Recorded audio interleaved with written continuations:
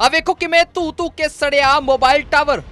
ਮੌਕੇ ਤੇ ਲੋਕਾਂ ਨੂੰ ਪੈ ਗਈਆਂ ਭਾਜਣਾ ਤਾਂ ਅੱਗ ਲੱਗਣ ਦੀ ਵੀਡੀਓ ਵੀ ਆਈ ਸਾਹਮਣੇ। ਤਾਂ ਦੱਸਦੀ ਹੈ ਕਿ ਇੱਕ ਮੋਬਾਈਲ ਟਾਵਰ ਨੂੰ ਅੱਗ ਲੱਗੀ ਹੈ, ਜਿਸ ਤੋਂ ਬਾਅਦ ਲੋਕਾਂ ਨੂੰ ਮੌਕੇ ਤੇ ਭਾਜੜਾ ਪੈ ਜਾਂਦੀਆਂ ਨੇ। ਤਾਂ ਪੂਰਾ ਮਾਮਲਾ ਲੁਧਿਆਣਾ ਤੋਂ ਸਾਹਮਣੇ ਆਇਆ ਹੈ, ਜਿੱਥੇ ਮੋਬਾਈਲ ਟਾਵਰ ਦੇ ਇੱਕ ਟਰਾਂਸਫਰ ਨੂੰ ਅੱਗ ਲੱਗੀ ਹੈ। ਤਾਂ ਦੱਸਿਆ ਜਾ ਰਿਹਾ ਹੈ ਕਿ ਇਸ ਅੱਗ ਲੱਗਣ ਦਾ ਕਾਰਨ ਕਿਤੇ ਨਾ ਕਿਤੇ ਸ਼ਾਰਟ ਸਰਕਟ ਸੀ। ਤਾਂ ਮੌਕੇ ਤੇ ਫਾਇਰ ਬ੍ਰਿਗੇਡ ਦੀ ਟੀਮ ਆਉਂਦੀ ਹੈ, ਜਿਨ੍ਹਾਂ ਦੇ ਵੱਲੋਂ 20 ਤੋਂ 25 ਮਿੰਟਾਂ ਦੇ ਅੰਦਰ ਹੀ ਅੱਗ ਤੇ ਕਾਬੂ ਪਾਇਆ ਜਾਂਦਾ ਹੈ। ਤਾਂ ਗਨੀਮਤ ਰਹੀ ਕਿ ਇਸ ਅੱਗ ਦੇ ਨਾਲ ਕੋਈ ਵੀ ਜਾਨੀ ਨੁਕਸਾਨ ਨਹੀਂ ਹੋਇਆ, ਪਰ ਮੋਬਾਈਲ ਟਾਵਰ ਦੇ ਸਮਾਨ ਨੂੰ ਅੱਗ ਲੱਗਣ ਦੇ ਨਾਲ ਮਾਲੀ ਨੁਕਸਾਨ ਕਾਫੀ ਜ਼ਿਆਦਾ ਹੋ ਗਿਆ ਤਾਂ ਵੇਖ ਸਕਦੇ ਹੋ ਕਿਸ ਤਰੀਕੇ ਦੇ ਨਾਲ ਇਹ ਭਿਆਨਕ ਅੱਗ ਸੀ। ਜਿਸ ਕਾਰਨ ਇੱਥੇ ਵੱਡਾ ਨੁਕਸਾਨ ਹੋ ਗਿਆ। ਤਾਂ ਉਧਰ ਬਿਲਡਿੰਗ ਦੇ ਮਾਲਕ ਦਾ ਕਹਿਣਾ ਹੈ ਕਿ ਉਸ ਨੂੰ ਅਚਾਨਕ ਧੂਆਂ ਵਿਖਿਆ ਜਿਸ ਤੋਂ ਬਾਅਦ ਉਸਨੇ ਫਾਇਰ ਬ੍ਰਿਗੇਡ ਦੀ ਟੀਮ ਨੂੰ ਫੋਨ ਕੀਤਾ ਜਿਸ ਤੋਂ ਬਾਅਦ ਉਹ ਮੌਕੇ ਤੇ ਪਹੁੰਚਦੇ ਨੇ ਤੇ ਉਹਨਾਂ ਦੇ ਵੱਲੋਂ ਅੱਗ ਤੇ ਕਾਬੂ ਪਾਇਆ ਗਿਆ।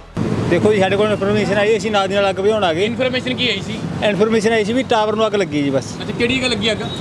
ਪ੍ਰਤਾਪ ਚੌਂਕ ਦੇ ਨੇੜੇ ਲੱਗੀ ਜੀ ਬਸ। ਤੇ ਹੁਣ ਕੰਟਰੋਲ ਕਰ ਲਿਆ? ਹਾਂਜੀ ਕੰਟਰੋਲ ਹੈ। ਕਿੰਨੀਆਂ ਗੱਡੀਆਂ ਲੱਗੀਆਂ? ਫਿਲਹਾਲ ਇੱਕ ਹੀ ਗੱਡੀ ਹੈ ਜੀ। ਤੇ ਅੱਗ ਲੱਗਣ ਦਾ ਕਾਰਨ? ਕੁਛ ਨਹੀਂ ਪਤਾ ਕਹਿ ਸਕਦੇ ਜੀ ਉਹਦਾ ਸਰਵੇਖਣ ਤੋਂ ਬਾਅਦ ਚ ਪਤਾ ਲੱਗੇਗਾ ਜੀ। ਜਾਨੀ ਨੁਕਸਾਨ ਤਾਂ ਨਹੀਂ ਕੋਈ? ਨਹੀਂ ਫਿਲਹਾਲ ਕੋਈ ਨਹੀਂ। ਅਸੀਂ ਤਾਂ ਬੈਠੇ ਸੀ ਨਾਰਮਲ ਆਪਣੇ ਦਫ਼ਤਰ।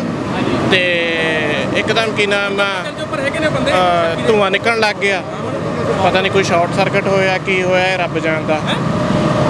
ਹੋ? ਗਿਆ ਜੀ। ਹਾਂ ਬਚਾਅ ਵਾ। ਜਾਨੀ ਨੁਕਸਾਨ ਤਾਂ ਨਹੀਂ ਨਹੀਂ ਕੋਈ ਨੁਕਸਾਨ ਨਹੀਂ ਹੋਇਆ। ਨਹੀਂ ਉਹਦਾ ਨਹੀਂ ਪਤਾ ਲੱਗਿਆ ਕਿੰਨੇ ਵਜੇ ਦੀ ਘਟਨਾ ਹੈ ਜੀ ਹੈ ਕਿੰਨੇ ਵਜੇ ਦੀ ਘਟਨਾ ਹੈ ਆ ਹੁਣੇ ਅੱਧੇ ਕੁ ਘੰਟੇ ਪਹਿਲਾਂ ਦੀ ਗੱਲ ਆ।